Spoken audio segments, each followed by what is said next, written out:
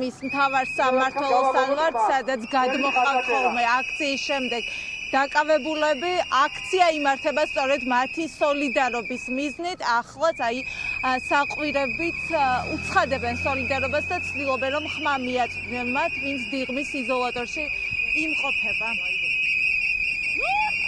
გავესაუბრები რამდენიმე მათგანს.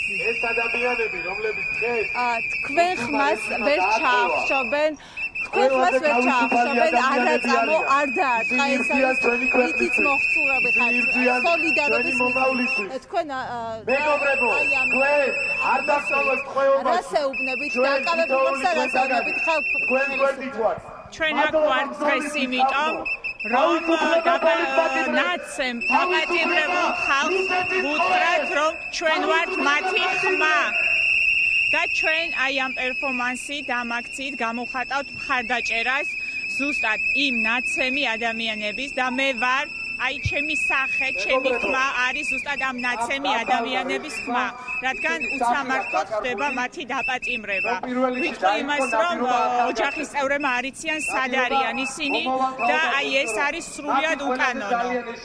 ბატონო მადლობა. აი ამ ნაზირლებმა რამოდენიმე დღის წინ და მოტანილი გაქვთ ფოტოები, სადაც სწორედ აღწერილია ის პროცესი, როდესაც აკავებენ და უთამენ. რას ეუბნებით აქ მოსვლით? თქვენ ხელისუფლებას რომელიც მეხუთე დღეა არ ისე მათ ვიდგები და ესენი მათ ჩვენ ვერ შეგვაჩინებთ ჩვენ გვინდა ვუთხრათ ხელისუფლებას რომ ჩვენ არ გვეშინია ჩვენ არ გავჩერდებით ჩვენ აუცილებლად მივახცევთ ახალ არჩევნებს. ძირითადი სამიზნეა იმიტომ რომ ძირითადად აი ამ ასეთია აქ შეკრებილების პოზიცია კიდევ რამდენიმე გავესაუბრები წამება დანაშაულია პროტესტი არა რატომ სცემა პოლიციამ სამშობლოს სიყვარულისთვის მოტანილი გაქვთ ფოტოები.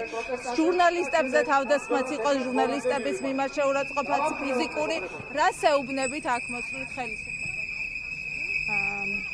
ეს ადამიანები გამოხატავდნენ თავიანთ თავისუფალ ნებას ისი უფლებაც მათ კონსტიტუციით აქვთ გარანტირებული და იყვნენ უკადუნო დაპატიმრებული და ხელისუფლების მიერვე იყვნენ ძალადობის მსხვერპლად ქცეული. და ჩვენ ვალდებულნი ვართ დავიცვათ ჩვენი თანამოქალაქეები და ჩვენი სამშობლო რაც თავია. თავისუფლება პოლიტიკურებს. თითქმის ხელისუფლების მესვეულთ, რომლებიც მოძალადეებს გვიწოდებენ. კარგად შემოგხედონ და დაგვაკვირდნენ ვინ ვართ მოძალადეები და როდის უნახავთ ჩვენი პროტესტი ამაზე ადრე. ეს არის აუტანელი. აუტანელია ის როგორც ექცევიან ადამიანებს.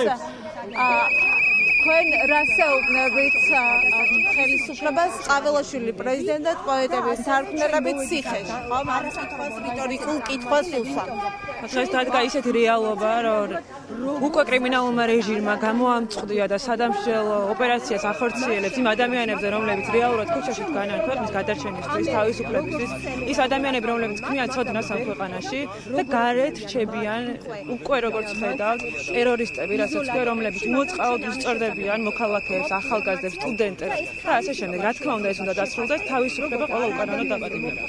თავისუფლება პოლიპატიმრებს ესეთია პოზიცია თვლიან, რომ ყველა მათგანი, ვინც აქციების დროს დააკავეს, არიან პოლიტიკური პატიმრები. არაწამო, რა ხდება ბოლო მეხუთე დღეა ყოველ საღამოს, როდესაც არბევენ აქციის მონაწილეებს რობოკოპების, სპეცაღჭურვილობებით და წყლის ჭავლის გამოყენებით.